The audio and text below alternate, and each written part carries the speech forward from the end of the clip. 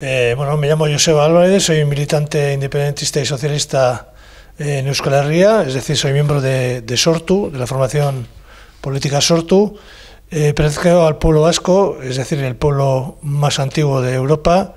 de origen pre-indoeuropeo, y nuestro objetivo es, después de haber llegado vivos eh, como colectivo, como comunidad, hasta el siglo XXI, pues conseguir que podamos seguir subsistiendo en, libertad, tanto como personas como pueblo en el futuro. Entonces el objetivo de, en ese sentido de los vascos es conseguir un Estado independiente, un Estado libre y un Estado socialista donde todos los hombres y mujeres pues, podrían adquirir eh, un nuevo tipo de, vida totalmente diferente al que se nos ofrece actualmente. Eh, Euskal Herria ha mantenido durante todos estos eh, siglos diferentes tipos de lucha, eh, puesto que no hemos sido un pueblo eh, independiente desde, desde hace prácticamente mil años. Eh, la fase, la última, la más importante y la más conocida para, para la comunidad internacional seguramente ha sido la lucha desarrollada por el pueblo vasco en contra de, de la dictadura franquista en los años, hasta los años, hasta los finales de los años 70, en el cual País Vasco se, se, hizo conocer en el mundo a través de una organización armada que se llamaba ETA, que era un poco la, la que vehiculizaba un proceso de liberación nacional y social en Euskal Herria, en, el, en el, corazón de Europa. ¿no? Ese proceso eh, permitió que el pueblo vasco efectivamente no fuese asimilado por la dictadura ni vencido por la dictadura,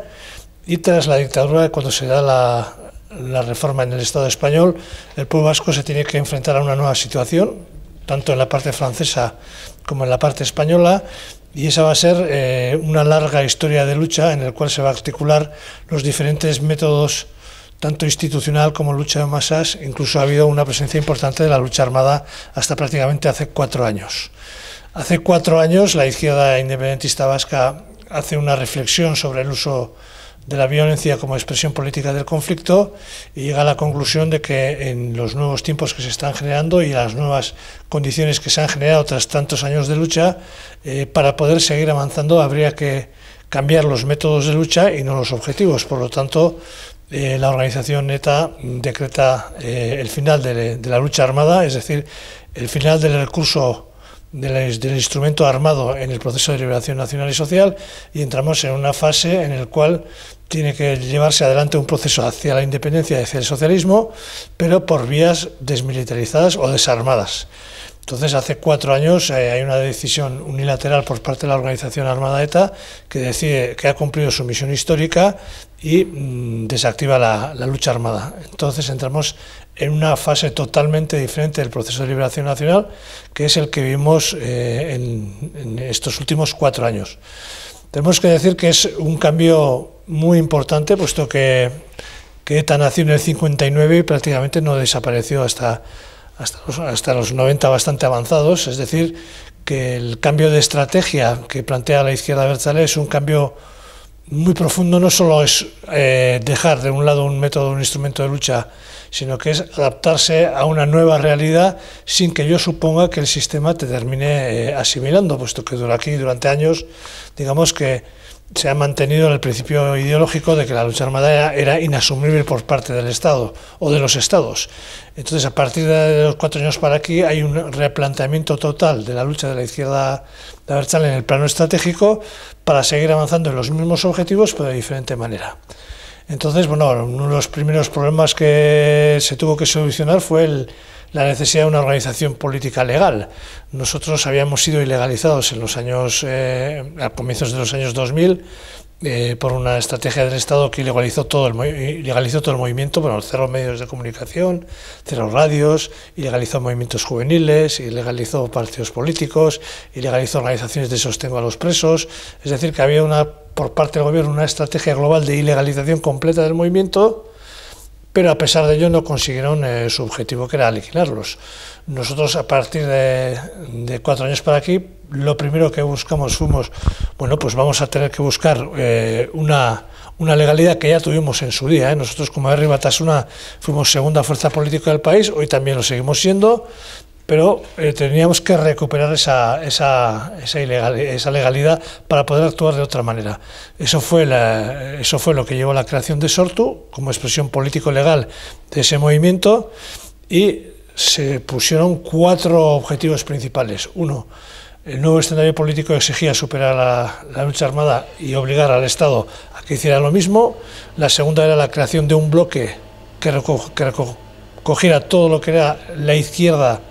eh, de Euskal Herria en una dinámica conjunta para seguir avanzando. La tercera era buscar la implicación internacional con los estados español y francés para la resolución del conflicto y instalar un proceso de negociaciones. Bueno, en estos cuatro años lo que sí se ha conseguido, por un lado, es que exista efectivamente una formación política legal, que se haya superado el escenario de la violencia por parte de ETA, que no por parte del Estado, que hoy por hoy la sigue manteniendo, sigue negando el pueblo vasco, sigue negando los derechos de los presos, nos sigue negando los derechos como pueblo a tener el derecho a decidir, nos sigue eh, eh, negando en muchas partes del País Vasco incluso la oficialidad de la lengua, nuestros derechos siguen siendo vulnerados, pero por parte de la organización ETA hubo un abandono de la lucha armada, se creó después de Sortu una alianza entre las fuerzas políticas que se llama Euskal Herria Bildu, que es la que se ha convertido en segunda fuerza política del país, que es un poco todo, que recoge un poco todo el abanico de la izquierda que existe en el País Vasco, desde digamos la, comunista hasta la socialdemócrata, pasando por los diferentes eh, modelos socialistas, y esa unidad eh, de acción en el plano electoral se ha puesto en marcha. Eh, se han conseguido muchísimos municipios, se han conseguido incluso durante cuatro años hemos estado gobernando en la provincia de Guipúzcoa, ahora estamos en coalición en, en Nafarroa. Eh, bueno, se ha, dado un avance importante en el tema institucional, pero a su vez eh, nos hemos dado cuenta que esa implicación institucional ha conllevado también, eh, digamos, la, la, pérdida de presión social en aquellas partes del país en las cuales hemos estado, digamos, gobernando. Es decir, que en el nuevo escenario político sí se ha conseguido crear esa alianza de la izquierda, también se ha conseguido llegar a las instituciones, pero en donde hemos llegado con más fuerza a las instituciones ha habido por parte de, la población o por parte de los sujetos sociales también una política de delegacionismo hacia, la, hacia el trabajo institucional. Eso en cuatro años lo que ha generado es un desgaste, por un lado, porque efectivamente nosotros tenemos que gobernar en instituciones que no son nuestras, que demanan, de una constitución a la cual este pueblo dijo que no, que son parte del entramado del Estado y que tienen todo lo que son las limitaciones legales impuestas por el capital. Entonces, eh, el, marco de, de, actuación y además en situación de crisis económica importante como es la que se ha venido y se sigue viviendo en Euskal Herria, en Europa también, pues nosotros hemos llegado a las instituciones en tiempo de crisis económica, nos hemos hecho con esas instituciones, pero estamos limitados desde el punto de vista económico por la crisis, por, la fuerza del capital en las bancas, pero también en el tema legal por parte del Estado. Entonces, lo que hemos constatado en estos cuatro años de lucha es que no hemos sabido buscar el equilibrio necesario entre lo que era la lucha institucional y la lucha de masas. La lucha armada ya ya se ha dado por superada en, el escenario eh, político vasco y entonces el gran reto era buscar el nuevo equilibrio. Bueno, nosotros cuatro años más tarde tenemos que decir que,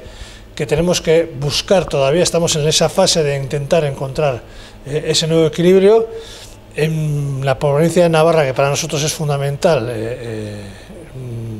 nosotros no teníamos una presencia institucional muy importante, está en manos de la derecha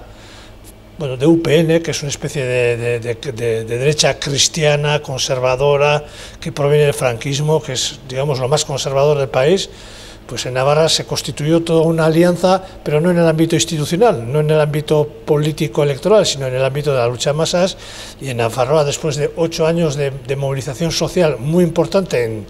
en numerosos temas, da igual que fuese el tema de la lengua, como el tema de los emigrantes, como el tema del paro, como el tema de las multinacionales la Volkswagen, eh, como temas de, ámbito económico, del derecho a la vivienda. Después de cuatro años de, enorme trabajo en la calle, en Nafarroa, en las últimas elecciones, que han sido hace pocos meses, se le ha dado el volco al panorama político. Es decir, que la presión de la calle lo que ha conseguido ha sido el desgaste de la derecha en el gobierno. Y el gobierno lo ha perdido la derecha, lo ha perdido prácticamente todos los gobiernos municipales, el gobierno regional también, hay, una alianza de izquierdas que se está abriendo paso en Nafarroa, que está intentando construir otra realidad. En Guipúzcoa, que es la, provincia donde estamos, que es digamos la provincia más nacionalista y teóricamente más de, la izquierda de Berchale durante, durante dos o tres legislaturas, pues eh, de, de, 85 municipios más o menos, en 60 y pico hemos conseguido mayoría. Entonces hemos estado gobernando cuatro años, pero cuatro años más tarde eh, hemos sufrido un desgaste. De hecho, hemos perdido a nivel electoral lo que era la, la goberna, el gobierno regional, digamos, y, y la capital de la provincia. No es que nosotros hemos hayamos perdido muchos votos, que de hecho no los hemos perdido, ¿eh? hemos perdido relativamente pocos votos. El problema es que no hemos eh, sabido llevar adelante una política que fuese más allá de lo que sería la gestión pura institucional. Es decir, que hemos cogido las instituciones con un enorme déficit, en situación de crisis, y la gente nos ha votado efectivamente, porque nosotros no robamos, no somos corruptos, eso es sabido en este país, y en estos cuatro años hemos sabido